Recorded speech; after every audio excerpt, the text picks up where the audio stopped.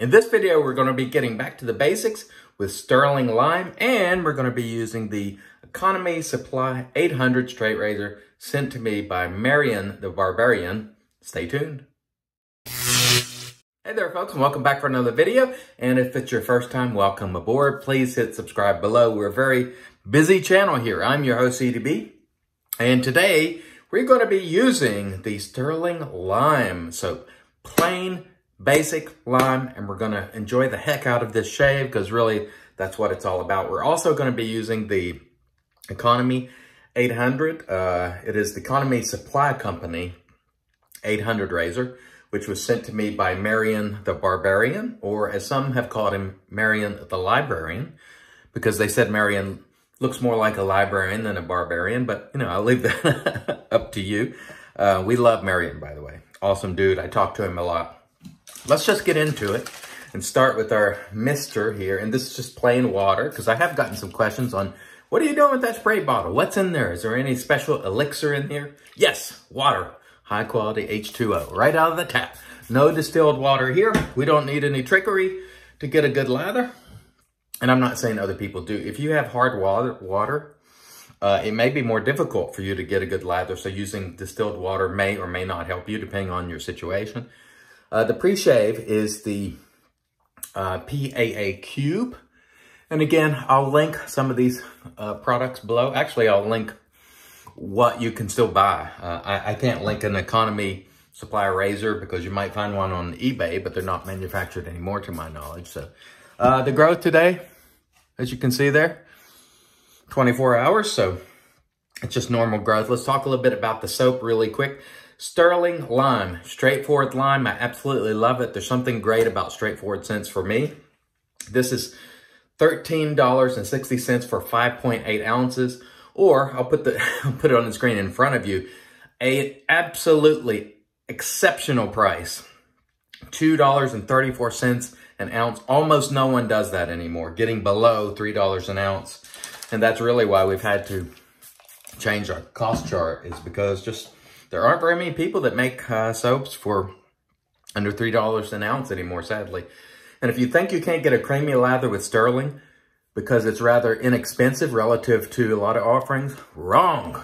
I'll show you a shot there of what the lather looks like in the brush because you can't always see the creamy nature of the lather. I'm using the RazoRock uh, Big Bruce.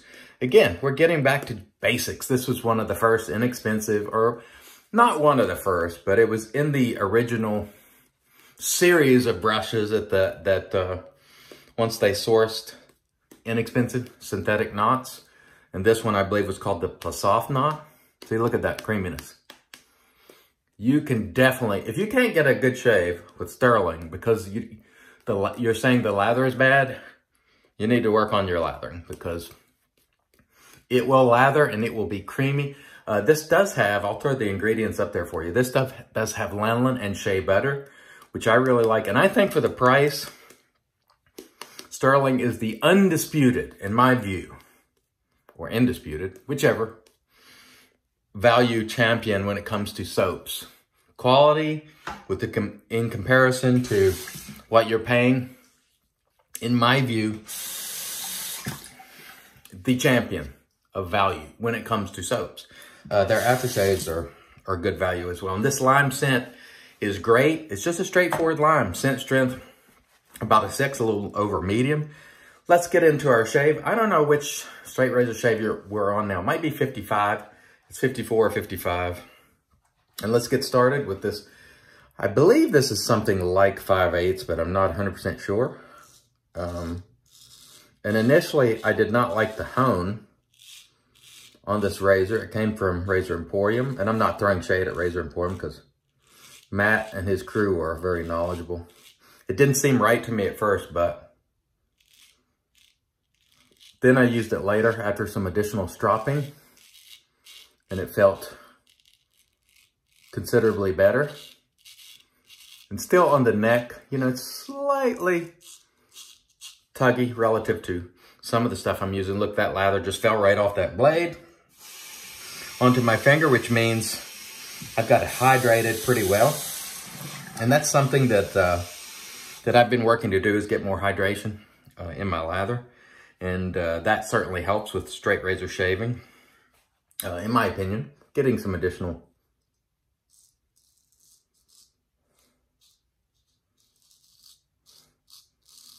hydration.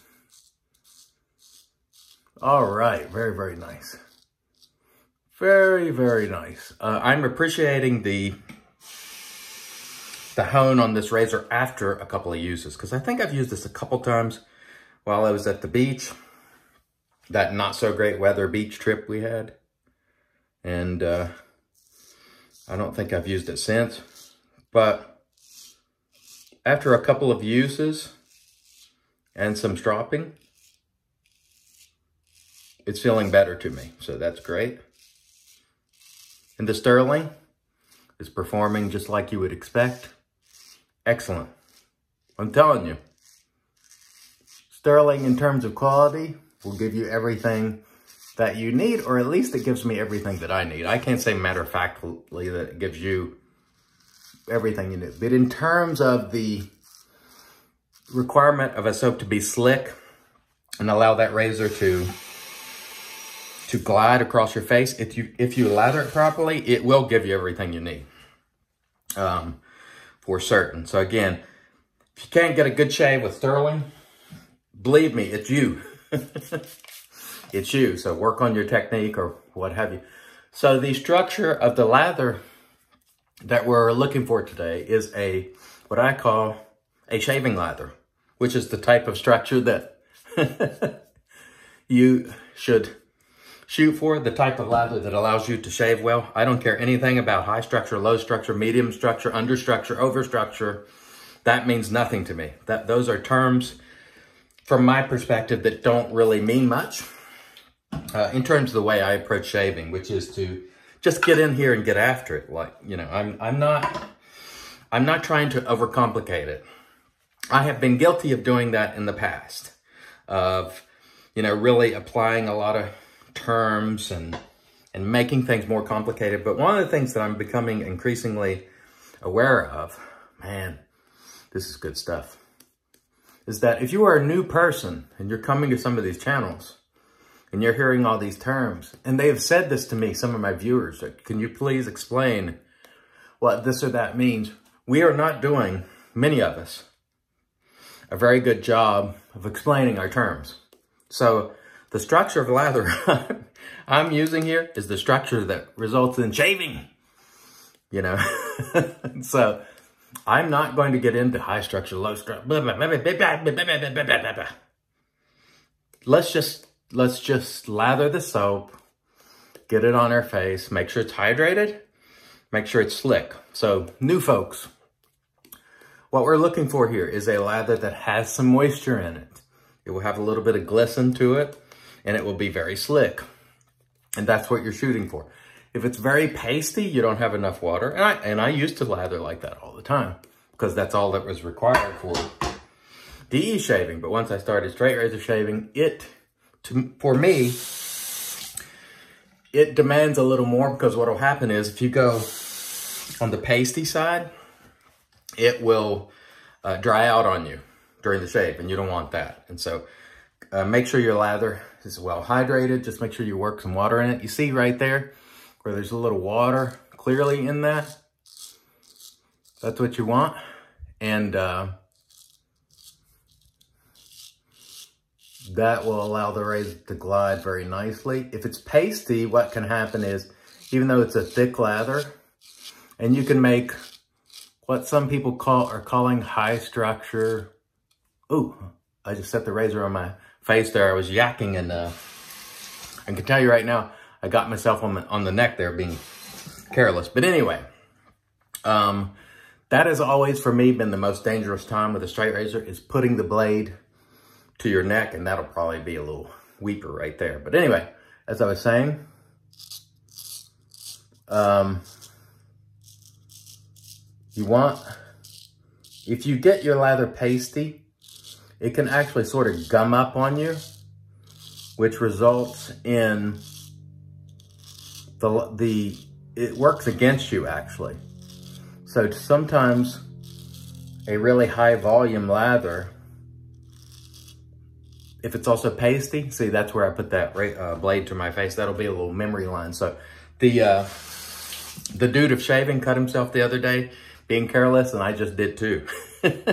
so be mindful of how you put that blade to your face because these straight razors will cut you if you're not being careful. And that was me flapping my gums and not paying attention. And you pay the price when you lose, when you uh, are not mindful of your techniques. I'm so wrapped up in what I'm talking about, I'm not paying attention. And uh, you really need to pay attention when you're using these sort of razors. And as the dude of shaving said, or Junior as I call him, you must respect the blade. And the minute that you lose respect for the blade, you will uh, do something stupid like putting the blade to your face in a cavalier fashion like I just did there because I'm more interested in what I'm going to talk about and less interested in paying attention um, to what I'm doing. So don't do what I just did. so there's a good uh, learning moment for you. I haven't been cutting myself much recently, but uh, if you lose focus, you can't. That's the one thing about straight razor shaving. You always have to be on your game. And you cannot lose focus and you cannot be cavalier. Because when you are, that's what happens. And that doesn't have anything to do with the soap. That has everything to do with me. Flapping gums, showing out, and not being mindful of my technique. So don't do what I did. but it is nothing uh, to worry about. We, we press on, then we'll, if we need to hit that with a styptic, we'll hit it. It's no big deal. But anyway, the shave itself, um, really great soap. The edge is actually fine. Initially, I didn't like it, but today it's actually feeling fine. And as you can see there, it is fully capable of laying a cut on you if you put the put the blade to your face in cavalier fashion. See that? See how those see how that's kind of falling off? So there's some good hydration in that. It's not just airy and bubbly, and so that's what we want. So I'm not concerned about defining structure. High structure, low, whatever structure. Like I don't even, I don't even know what that means really. Um, I don't care.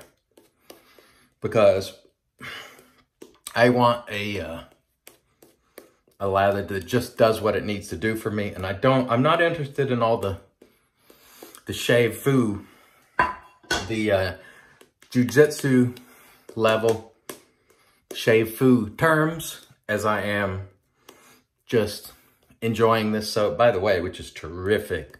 Again, this stuff is phenomenal. For the money, and Stirling has resisted the temptation to keep reformulating. Why do they need to reformulate? This stuff is great. Look at it. There is no need. There's really not much, honestly. You can spend three times as much per ounce on this. And there are a good many soaps that are probably three times or two and a half times at least. And you will get nothing more out of what it actually does for the shave and the creaminess of the lather and this, that, and the other thing. And so for me, there's just no need.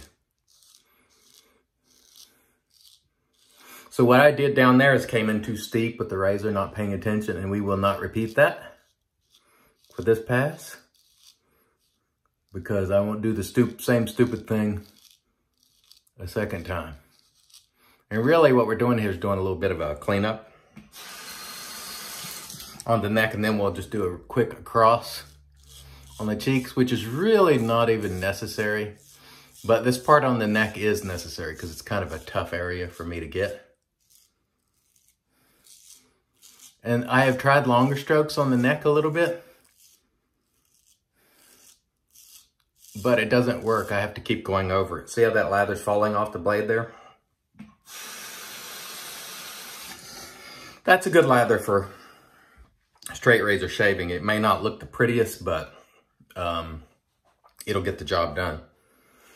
All right, let's finish off. We're not gonna stretch there today. We're just gonna keep our hand out of the way. One of the things that I'm cognizant of now after seeing Junior is not hitting your blade with your other hand. So what he did is he bumped his blade with his other hand.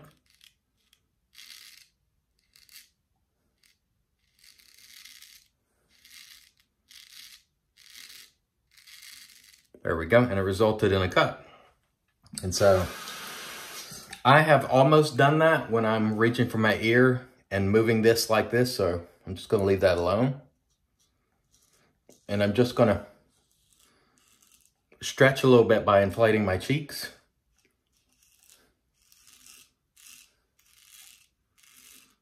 Because I'm not finding that I really need to really pull my ear that much.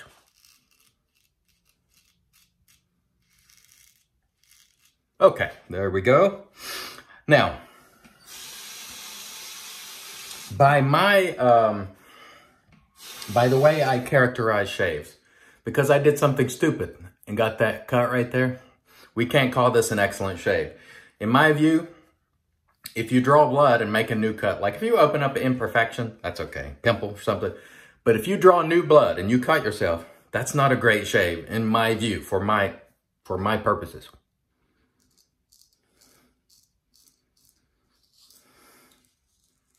So this can't be a great shave.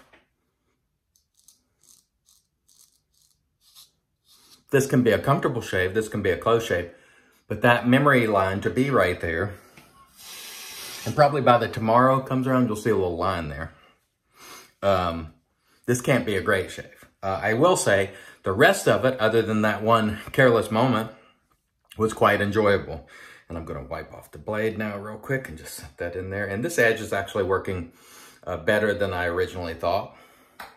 So not too bad. I will rehone it at some point, put my own edge on it. But for now, that worked pretty nice. Okay, let me rinse. We'll come back and get into the post. Stay tuned. All right, we're in with our PAA alum, complete with dry dock. And again, I normally don't use this for this purpose, but since we did get a little nick today, we'll use this. And so far, the dry dock is working as advertised, which is to say I've been putting my alum block just straight back in here and it has been staying in good shape. So it's not getting crusty, so on and so forth. And that is what this is designed to do because that's so porous. You just slap it back down in there and it's been airing out rather well, not getting crusty. So, so far, like four or five days in, I'm not sure, it's working as designed. There'll be a link below if you're interested. Let me rinse this off. We'll come back and get into the rest of the post. All right, and we come with the Lancaster towel. Let me put up the graphic because these will be dropping this coming Saturday, I think at uh, 3 p.m. Information will be on the graphic. So if you're interested in getting one of these towels, which I love, uh, get after it this Saturday. Let's get busy with our witch hazel. And I think the alum uh, did what it needed to do on that cut, so that's great. That means it's not a bad one, just a just a memory line, and that's about historically. I probably had hmm, seven or eight of those over the years, I would say.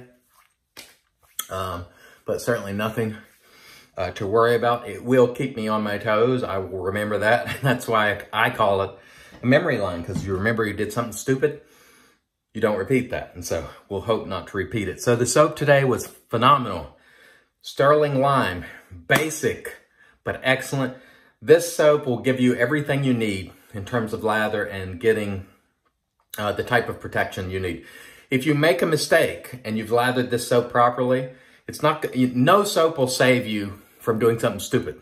All right, stupidity can't be helped. Or actually, stupidity, you can't be protected from stupidity with a soap base. And I prove it because this was a tremendous lather, but that's going to give you all you need as far as I'm concerned in terms of slickness and protection.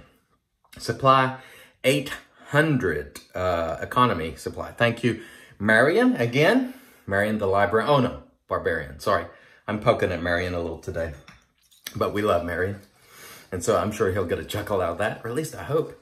Going to finish off with some Pinaud Citrus Musk. Again, basic but effective for me. And I have, uh, this used to be in plastic and I've put it in a glass bottle to see if it enhances the scent a little bit and I get some of that plasticky type scent out of it. And it smells great, I must say. Just a nice burst of lime. Not very expensive. Again, this is Pinaud Citrus Musk. Thanks to each and every one of you for joining us again today. I really appreciate it. If you enjoyed the video, subscribe, hit like. I want to remind you, it's your shave, do it your way. And as always, God bless.